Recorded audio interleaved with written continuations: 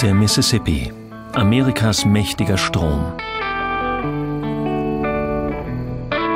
Lange schien es, als wäre er vergessen.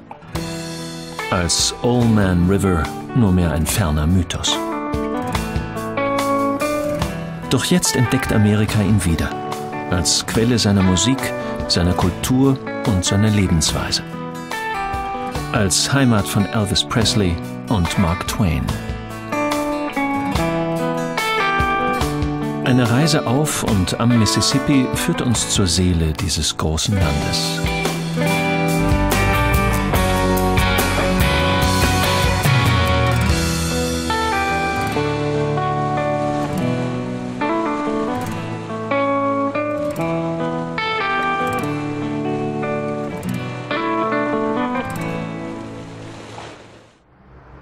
Memphis, Tennessee, die größte Stadt am Mississippi. Die Union Street hat sich kaum verändert seit jenem 5. Juli 1954, der diese Straße zum Mekka für Musikfans machte. Und noch immer gibt es die Sun Studios.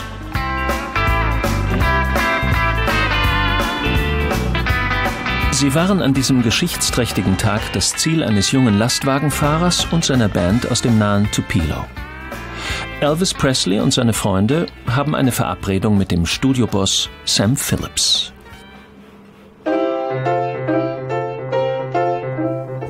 James Lott ist heute Aufnahmeleiter in den Sun Studios, aber er kann die Geschichte jener Nacht erzählen, als sei er selbst dabei gewesen. Nach Stunden erfolgloser Probeaufnahmen improvisierte Elvis in einer Pause eine traditionelle Melodie, die er von schwarzen Musikern in seiner Nachbarschaft her kannte. Als sie damit anfingen, legte Elvis einen Akkord vor. Und Scotty ergänzte das mit einer rollenden Begleitung auf der Gitarre.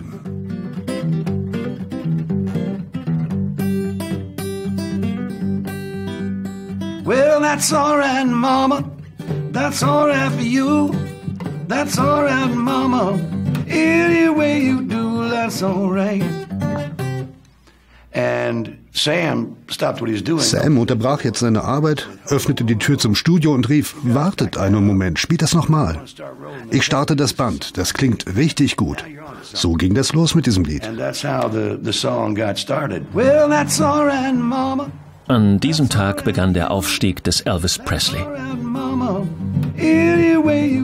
Und es war der Urknall des Rock'n'Roll.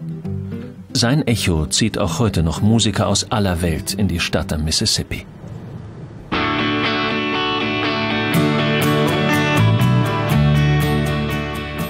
Zehntausend Kilometer hat die Cadillac Band aus Schweden bis nach Memphis zurückgelegt.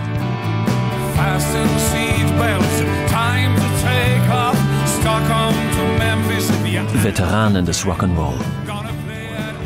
Jetzt sind sie am Ziel. Manche von ihnen haben Elvis noch selbst auf der Bühne erlebt. Seit 50 Jahren sind sie in einem Geschäft, das Rock'n'Roll heißt und ihr Leben ist. Und dafür, sagen sie, gibt es keinen besseren Ort als Memphis und die Beale Street. Kneipe an Kneipe und jede bietet Musik live. Seit jeher ist diese Straße ein Sprungbrett für Karrieren und auch Endstation für gescheiterte Träume. Kaum angekommen, bastelt die Band aus Schweden an der Setliste für den Abend. Für das erste Konzert.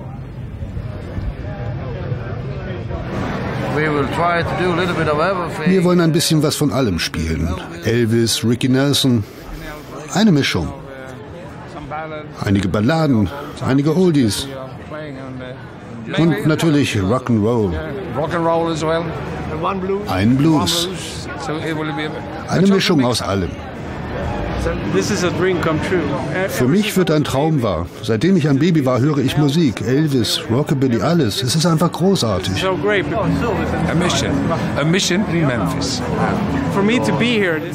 Ich bin überwältigt. Das ist das Ding. Hier hat alles angefangen. Dann endlich, Tommy und seine Band können loslegen mit ihrer Mission in Memphis. Für die Musiker aus Schweden ist es ein Lebenstraum. Lange haben sie für diesen Trip zusammenlegen müssen.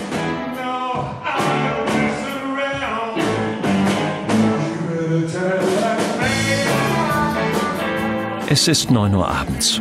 Auch Rockveteranen aus Europa müssen den Laden füllen. Nur das zählt für den Inhaber. Einen Exotenbonus gibt es hier nicht. Gespielt wird, was den Touristen gefällt. Und die kommen vor allem wegen einem. Elvis. Für seine Fans lebt der King auch Jahrzehnte nach seinem Tod 1977. Seither ist Graceland die Pilgerstätte des Elvis-Kults. 600.000 Menschen zieht es jährlich hierher. Nur das Weiße Haus in Washington hat mehr Besucher. Elvis war 22, als er Graceland kaufte. Hier verbrachte er den Rest seines Lebens. 20 Jahre. Nur selten hatte er Gäste. Ihnen erzählte Elvis gerne die Geschichte über den amerikanischen Präsidenten, der dem damaligen sowjetischen Führer Khrushchev Graceland zeigen wollte. Als Beweis dafür, wie weit es ein armer Junge im Kapitalismus bringen kann.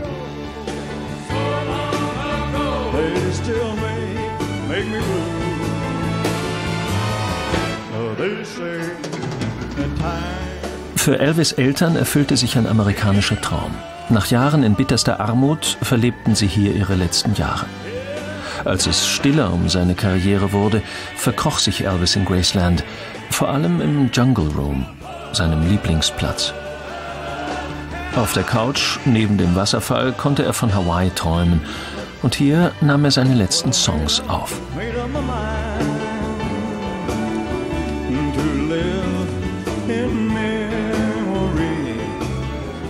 Die Besucher bekommen nur das zu sehen, was sie glauben sollen.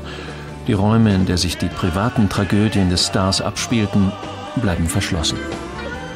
Auch uns zeigt man nur die Glitzerwelt, die Trophäen der Karriere, goldene Schallplatten und aberwitzige Bühnenanzüge, in die er sich nur allzu oft hineinhungern musste.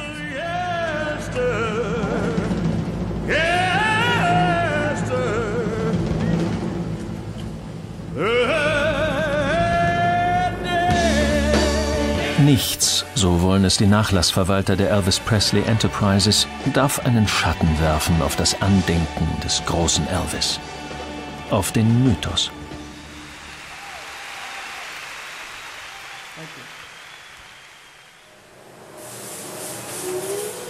Auch Gibson ist ein Mythos. Das Instrument für die Gitarrengötter. B.B. King spielt sie, Clapton natürlich und Keith Richards. Es ist Jim Dawsons Job, eine Gibson zum Leben zu erwecken. Früher ist er mit Bands durch die Lande getourt und er weiß daher, was man mit einer Gitarre alles machen kann. Vor acht Jahren, mit 50, war dann Schluss. Jetzt ist Jim Gitarrenprüfer.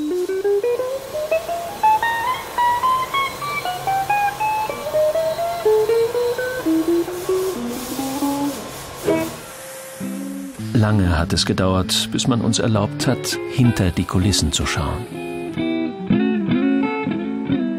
Hier ist vieles noch reine Handarbeit für die Herstellung eines Luxusguts.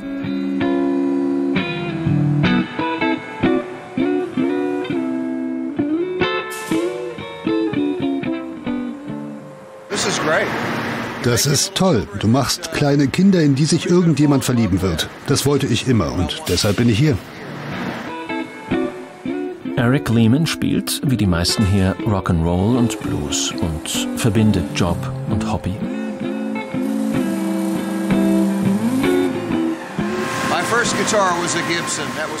Meine erste Gitarre war eine Gibson. Die habe ich bis heute. Vielleicht ist das hier eine Art Traum, aus dem ich nur noch nicht aufwachen möchte. Diesen Klang kann man nicht kopieren. Du spürst ihn beim Spielen. Keine andere Gitarre fühlt sich an wie eine Gibson. Es ist dieser warme, volle Klang, der Fans so fasziniert.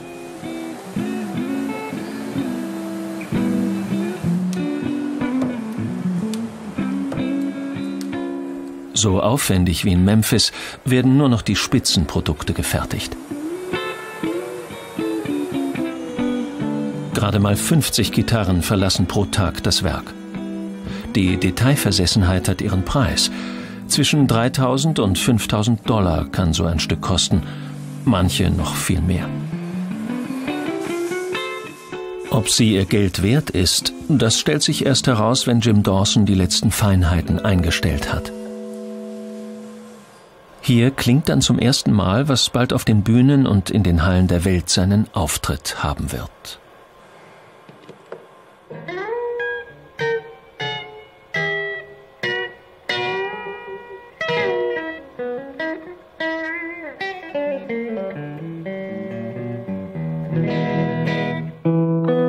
Vielleicht funktioniert der Mythos Gibson nur in einer an Mythen so überreichen Stadt. So wie der Zauber all der bunten Lichter erst bei Dunkelheit.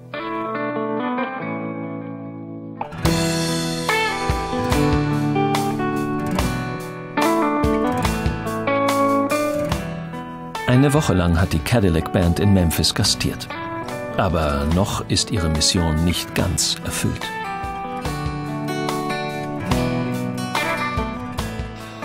Am letzten Abend geht es zur Plattenaufnahme ins Sun Studio. Dorthin, wo Musikgeschichte geschrieben wurde. Okay. James Lott, der Aufnahmeleiter, arbeitet in Nachtschichten. Denn tagsüber gehört das Studio den Touristen. Uh, Mit was wollen wir anfangen? Jetzt ist es für die Musiker aus Schweden fast so wie zu den Zeiten, als Elvis, Jerry Lee Lewis und Johnny Cash hier aufnahmen. Für James Lott ist der Mythos vor allem gut fürs Geschäft. Der Klang von 50 Jahren Musik ist in diese Wände gesickert. Von diesem Sound will sich die Cadillac Band heute Nacht inspirieren lassen. Ein Augenblick, auf den sie lange gewartet haben.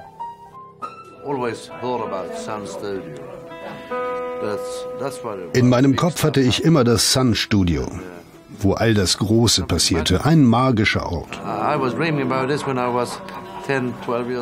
Davon habe ich geträumt, seit ich ein Junge war.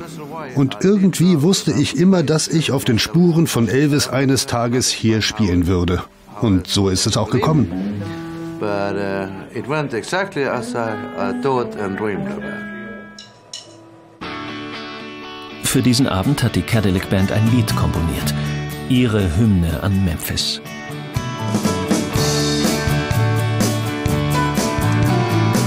Fasten seatbelts, time to take off. Stockholm to Memphis via Amsterdam. Gonna play at Alfred's, Alfred's on Beale Street. Me and the Cadillac Band.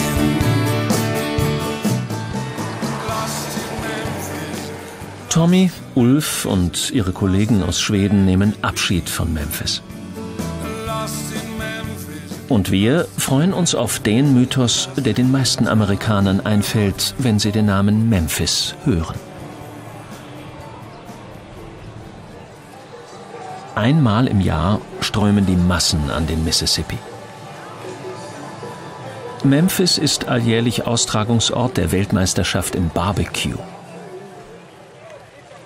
Hier dreht sich alles nur ums Schwein. 250 Teams haben sich für diesen Wettbewerb qualifiziert. Einer von ihnen, Craig Blondis, Inhaber einer Kette von Barbecue-Restaurants. Er ist ein Profi.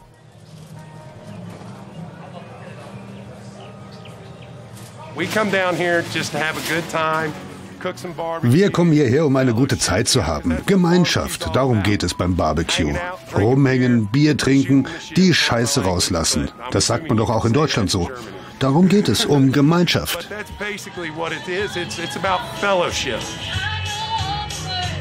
Das Fest in Memphis dauert drei Tage lang. Es ist viel mehr als ein Wettbewerb. Barbecue ist das Bekenntnis zu einem Lebensgefühl, das große Band, das alle Südstaatler verbindet. Und wer von woanders hierher kommt, der erlebt Barbecue auch als Gastfreundschaft, herzlich und rau zugleich.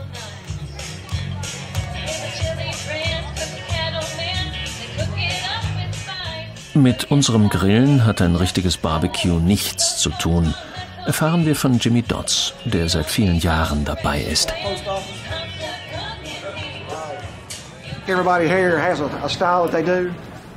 Jeder hier hat seinen eigenen Stil.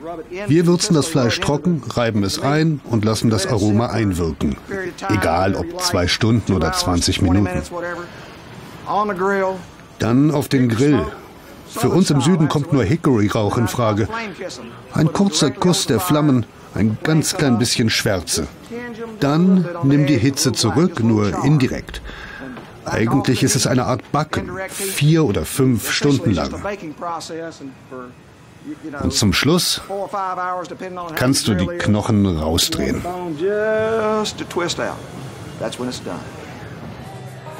In den Smokern wird zart, was einst als das Essen armer Leute galt. Zähe und billige Teile des Schweins wie Rippen, Schultern oder Füße. Der Rauch erzeugt Aroma, ganz ohne teure Gewürze.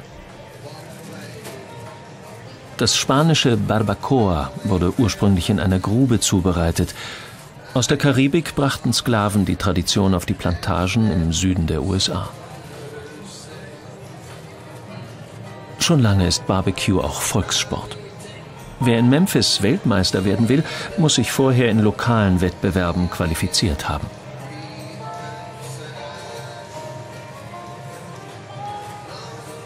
Bob Lewis und Jim Penrath gehören zum Team der Crispy Critters, der knusprigen Viecher, und sind seit 28 Jahren dabei. Sie kommen aus allen Teilen der USA und aus allen Berufen und treffen sich sechsmal pro Jahr. Wir nehmen das Kochen sehr ernst. Wir haben auch unseren Spaß, aber beim Kochen wird es ernst und dann zählt für uns nur der erste Platz. Wir mögen die Party, aber wir sind hier, um zu gewinnen. Unten am Fluss scheint die ganze Stadt versammelt. Das alte Zentrum dagegen, rund um die Main Street, wirkt in diesen Tagen wie ausgestorben. Wie damals, vor 40 Jahren, als Memphis Geschichte machte. In den Tagen der Wut, des Zorns, der unvergessen ist. Den Tagen des Kampfs. Schwarze Arbeiter der Müllabfuhr streikten, verlangten gleiche Löhne und Arbeitsbedingungen wie ihre weißen Kollegen.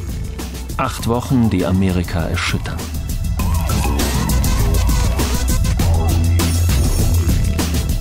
Ein Wendepunkt der Geschichte. Martin Luther King kommt, der Führer der Bürgerrechtsbewegung.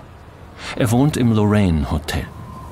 Am 4. April 1968 gegen 6 Uhr abends tritt King auf den Balkon Vorzimmer 306.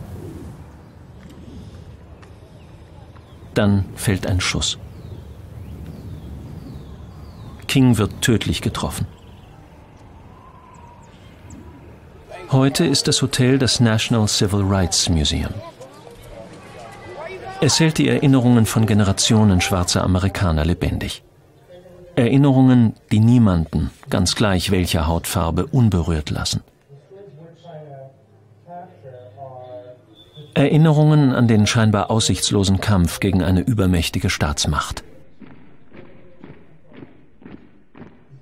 Gegen diesen zivilen, gewaltlosen Ungehorsam marschierte die Nationalgarde auf. Manche Besucher haben es noch am eigenen Leibe erlebt. Ich war hier manchmal wütend, manchmal stolz, manchmal auch verwundert. Jetzt verstehe ich einiges besser, weil man alles an einem Ort sehen kann. Ich habe einiges davon selbst miterlebt.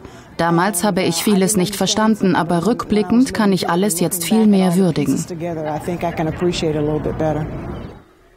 Lana Bardo ist hier der Geschichte von Rosa Parks wieder begegnet.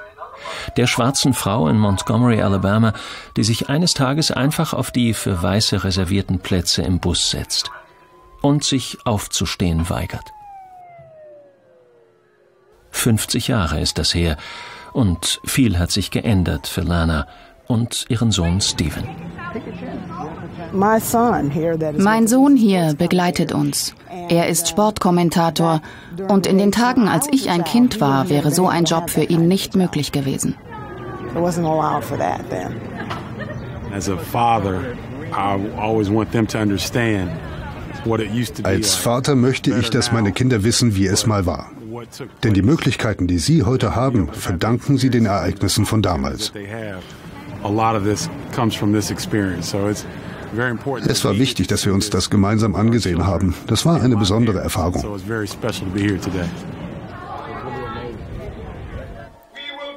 Stevens Mutter Lana ist damals mitmarschiert nach Washington, zur mächtigsten Demonstration in der Geschichte Amerikas.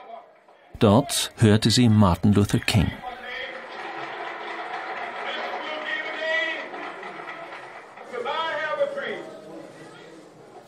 Ein Traum, der sich auch erfüllt hat für den Mann, der damals zwei Jahre alt war und heute Präsident ist.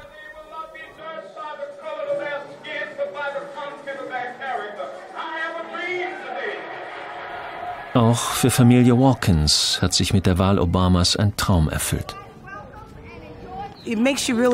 Jetzt lernt man die Vergangenheit schätzen. Ich habe immer gesagt, lass doch die Vergangenheit, gestern war gestern. Aber man muss sich an gestern erinnern, um das heute und morgen zu würdigen. Diese Kinder haben hier den ganzen Kampf gesehen. Und nun haben sie Obama gesehen.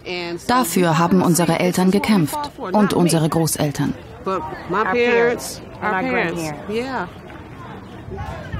Rund um dieses Museum sprechen und diskutieren vor allem schwarze Besucher über ihre Eindrücke. Unten am Flussufer herrscht seit Stunden Partystimmung.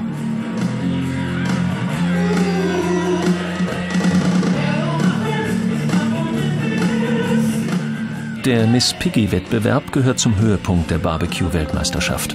Auch für Millionen Amerikaner vor dem Fernsehschirm. Nach Stunden sind die Rippchen, Schultern, Schweinehälften durchgegart. Ihr Duft liegt schwer über dem Mississippi-Ufer. Jetzt heißt es warten, bis irgendwann die Jury vorbeikommt und ihr Urteil fällen wird. Doch das ist für die meisten nur mehr Nebensache.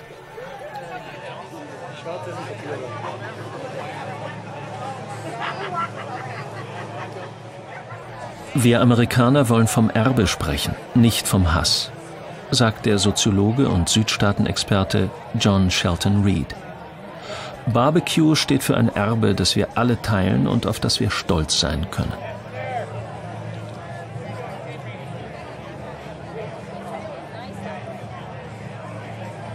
Wie könnten wir von Memphis, der Stadt der Mythen am Mississippi, schöner Abschied nehmen als mit einer Party an diesem großen Strom?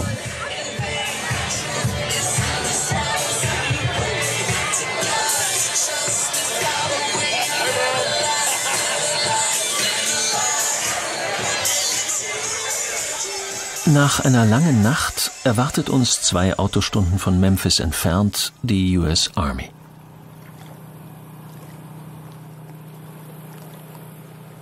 Heute haben Mark Manning und Donny Armstrong Dienst auf der Eddy. Der gesamte Flusslauf untersteht dem US Army Corps of Engineers, denn die Lebensader des Landes will Amerika nicht privaten Zivilisten überlassen. Die Fähre verbindet das Flussufer mit ihrer Basis in der Mitte des Mississippi. Unser Ziel ist die Hurley, das Flaggschiff und der ganze Stolz des Ingenieurkorps. Mark ist hier einer der Offiziere.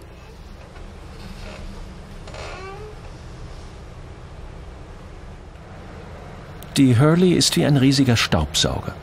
Sein Motor liegt im Hauptschiff, einem 100 Meter langen und 20 Meter breiten Ungetüm mit fünf Decks.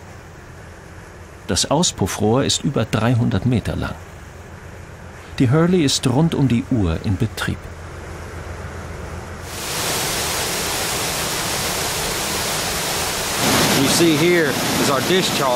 Hier sehen Sie den Abfluss.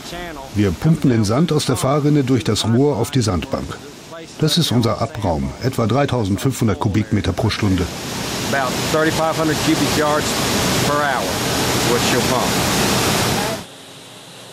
Alle paar Stunden braucht der Staubsauger eine Reinigung. Für Captain Frank Seagree ist der riesige Saugkopf die entscheidende Waffe im Kampf gegen die Versandung des Flusses. Fast fünf Meter tief hat er sich in den letzten Tagen in das Flussbett gegraben und dabei alles rausgeholt, was sich in den trüben Fluten abgelagert hat.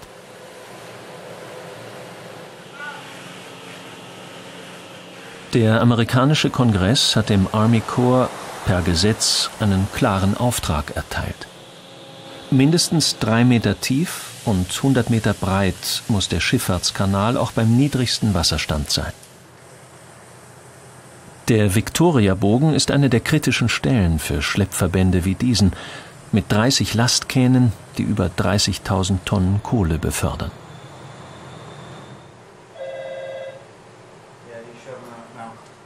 Es ist ein immerwährender Zweikampf zwischen dem Captain und der Macht der Natur.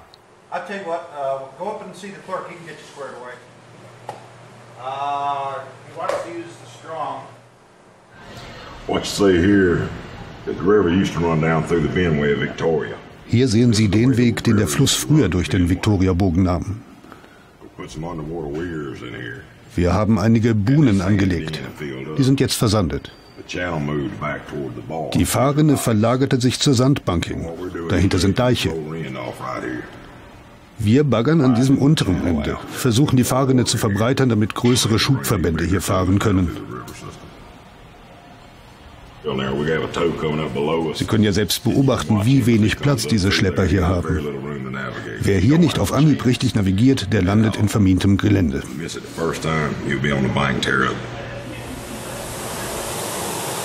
Nur von Juni bis November. Wenn der Mississippi Niedrigwasser hat, kann die Hurley ihrer Sisyphos-Arbeit nachgehen.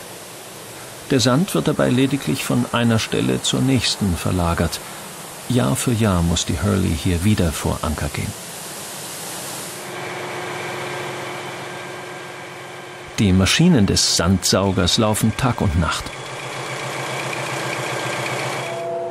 Wie alle hier an Bord arbeitet Chefingenieur Michael Barton in zwölf Stunden Schichten. Sieben Tage ist er an Bord, dann hat er zwei bis drei Tage Landgang.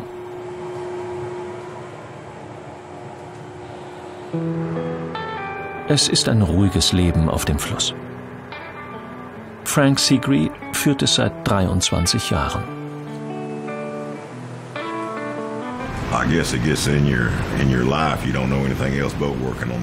Ich kenne nichts anderes als die Arbeit auf Booten. Ich möchte nichts anderes machen. Auf dem Land fühle ich mich verloren. Die meisten hier sind auf dem Wasser zu Hause. Das ist unsere Liebe. John D. Boyd Sr. ist vielleicht der wichtigste Mann an Bord. Zweimal täglich im Einsatz für die 30 Mann Besatzung, die gerade ihren Dienst tun.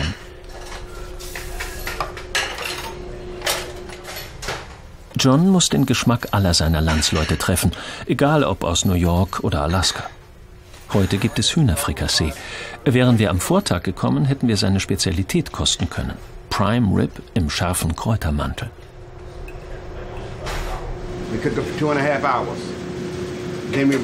Zweieinhalb Stunden muss es kochen. Dann bräunen wir es 30 Minuten. Auf Dampf halten wir es warm. Dazu gibt's Backkartoffeln, Sauercreme, Butter und Gemüse. Dazu Suppe und Brot. Einmal die Woche. Samstags und Dienstags gibt es Steak. T-Bone wahrscheinlich am Samstag, Ribeye am Dienstag.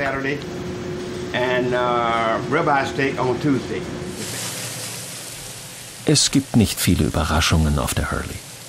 Manchmal kommen Schiffe vorbei. Die meisten Kapitäne und ihre Geschichten kennt Captain Frank, aber nur über Funk. Wir sind keine große Gemeinschaft. Wir unterhalten uns immer, aber das Seltsame ist, dass man mit jemandem jahrelang gesprochen hat, bevor man ihm zum ersten Mal begegnet. Man fährt aneinander vorbei und lernt dabei doch Leute und ihre Familien kennen. Schon seltsam.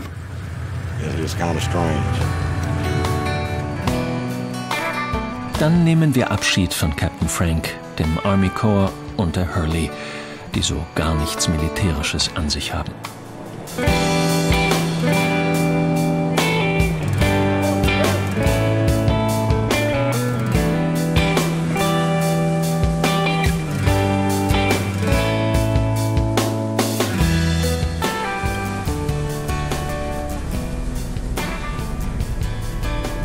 Auf seinem Eroberungszug akzeptierte der weiße Mann lange den großen Strom als Grenze zum Indianerland.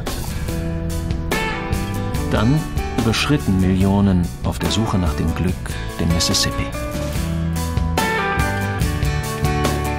Den Tracks der Siedler haben sie bei St. Louis mit dem Gateway Arch ein monumentales Denkmal gesetzt. Doch das Land am Mississippi hat eine Geschichte vor dieser Eroberung.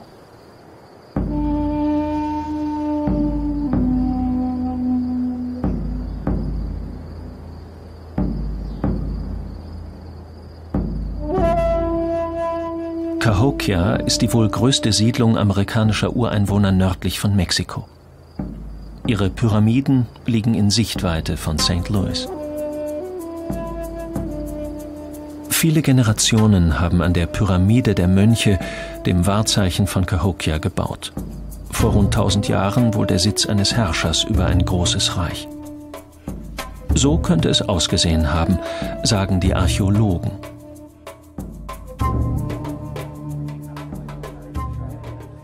Einmal im Jahr bietet das Museum einen Tag der Artefakte. Der Andrang ist in diesem Jahr so groß wie nie. Immer mehr Amerikaner von heute wollen wissen, wer lange vor ihnen auf ihrem Boden gelebt hat.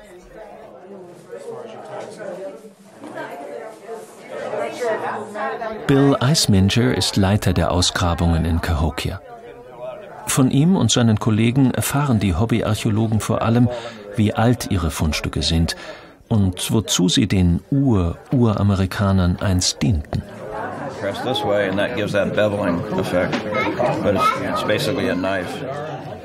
Dies ist wahrscheinlich ein Messer.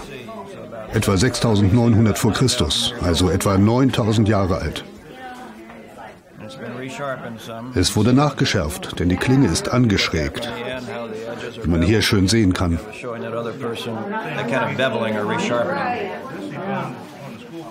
Bestimmt 9000 Jahre alt.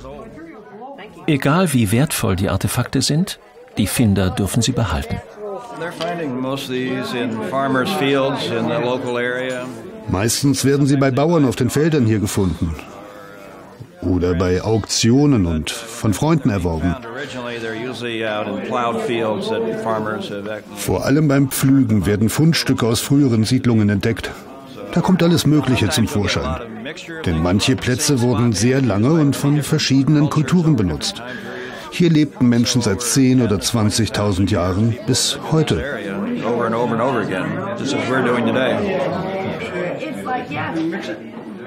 Manche Stücke sind auch für Bill außergewöhnlich. Das ist vermutlich eine Wasserflasche, die ist etwa 800 Jahre alt.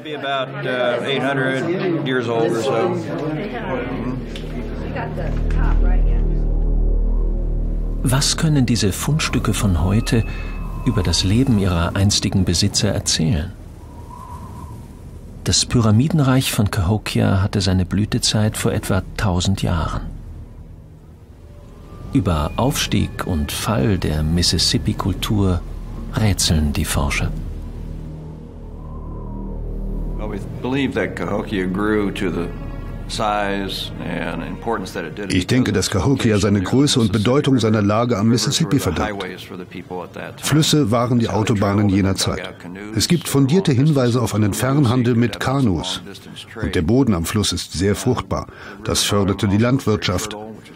Die Ressourcen hier waren üppig und der Fluss ermöglichte den Transport.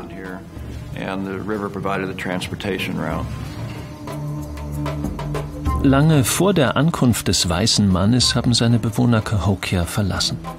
Niemand kann sagen, warum und wohin.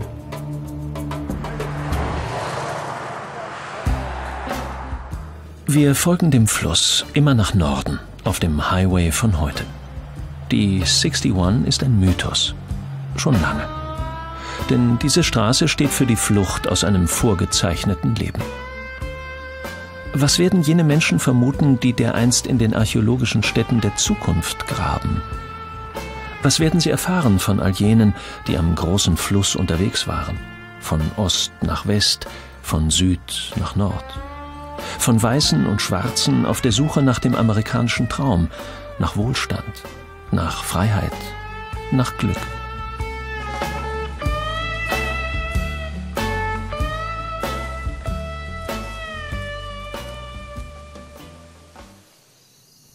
Nördlich von St. Louis wird das einst flache Land idyllisch. Sanft rollende Hügel begleiten die Reise zu unserem letzten Ziel. Seit mehr als 20 Jahren spielt L.A. Sus auf dem Fluss. Anfangs auf richtigen Dampfpötten. Jetzt unterhält er die Gäste eines Ausflugsschiffs.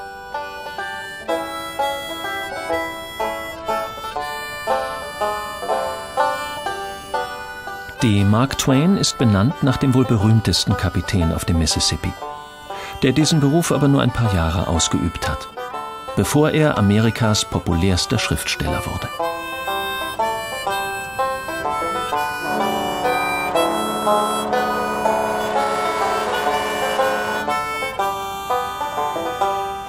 Hannibal ist sein Heimatort. Für Mark Twain war dieser Blick eine der schönsten Aussichten auf den Mississippi. Nur einen Steinwurf entfernt vom Ufer ist er als Samuel Langhorne Clemens aufgewachsen, vor mehr als 170 Jahren. Den Zaun kennt jeder, der die Geschichte von Tom Sawyer gelesen hat. Das Elternhaus nebenan hat Twain mit 18 verlassen und den Rest seines Lebens nie mehr betreten.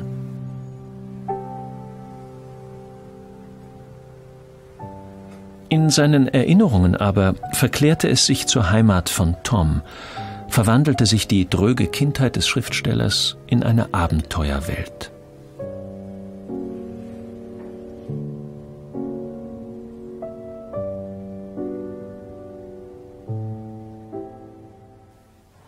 Hannibal nennt sich stolz America's Hometown. Alles dreht sich um Tom Sawyer, Huckleberry Finn, Becky Thatcher und ihre Geschichten.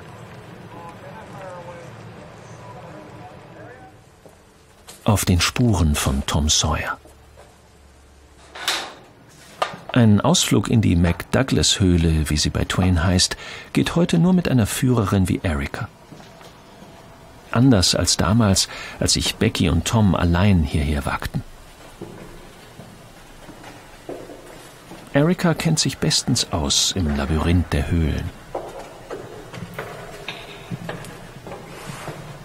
Vorbei an der Schatzkiste, die Tom und Huck reich gemacht hat, wagen wir uns tiefer hinein.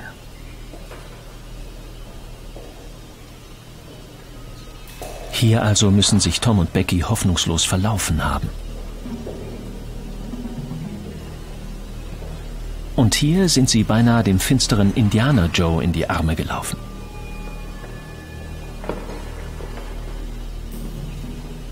Erika findet den geheimen Ausgang, der Twains Traumpaar die Flucht ermöglichte.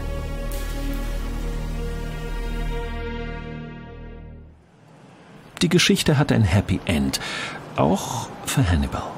Die kleine Stadt lebt vom Mythos ihres großen Sohns.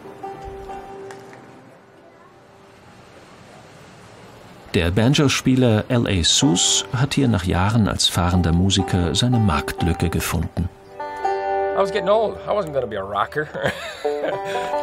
Ich wurde alt und war kein Rocker. Warum nicht die Zeit zurückdrehen? Also entdeckte ich die Einfachheit eines Instruments an einem so schönen Ort wie einem Dampfer. Dort im Sonnenuntergang zu sitzen, das ist kein schlechtes Leben. It's not a bad life.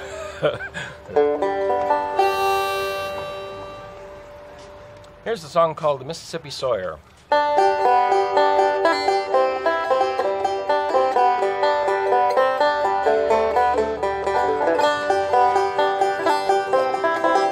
Hannibal ist ein Freilichtmuseum.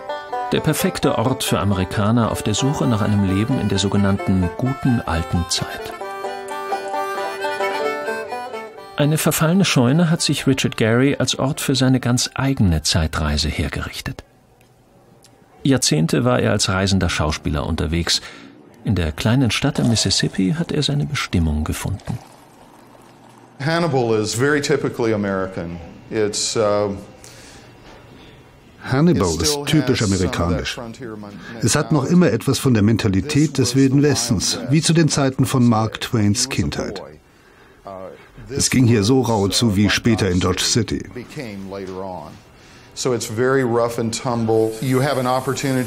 Ob du es schaffst, hängt nur von dir selbst ab. Niemand wird dir dabei helfen.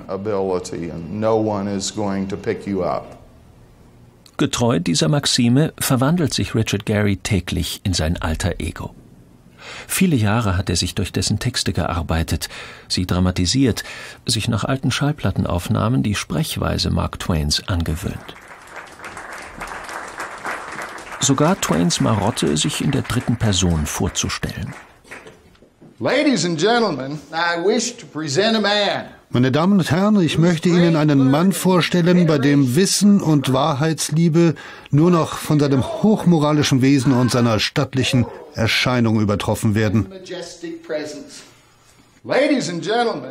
Mark Twain, ein Humorist, der wirklich lustig ist. Ich liebe Hannibal am Abend. Dann kann man den Lauf der Zeit verspüren und sich zurückversetzen in längst vergangene Tage. In Hannibal scheint es, als würde die Zeit tatsächlich stillstehen. Am Ufer des Mississippi. An Amerikas großem Strom.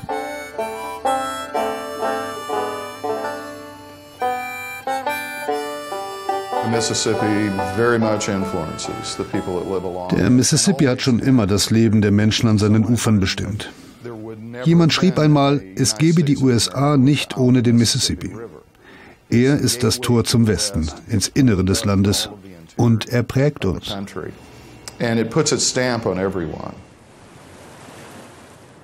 Amerika entdeckt den Mississippi, seine Lebensader wieder. Einmal im Jahr versammeln sich in Memphis Zehntausende am Ufer des Allman River. Die Sunset Symphony erweist dem Mississippi seine Referenz. In diesem Jahr mit Smetanas Moldau.